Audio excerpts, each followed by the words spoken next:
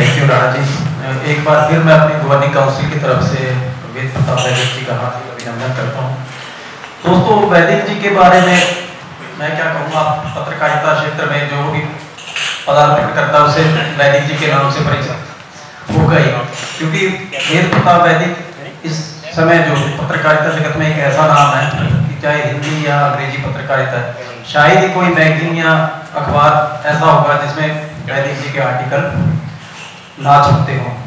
तो मैं ज़्यादा चर्चा नहीं करूँगा, क्योंकि बहुत ही कम मौका मिलता है कि जब वैदिक जी जैसे शख्सियत आप लोगों के सामने बैठी है और आप लोगों को उससे रूबरू होने का मौका मिले तो एक बार फिर मैं सारे गवर्निंग काउंसिल की तरफ़ से आपका हार्दिक अभिनंदन।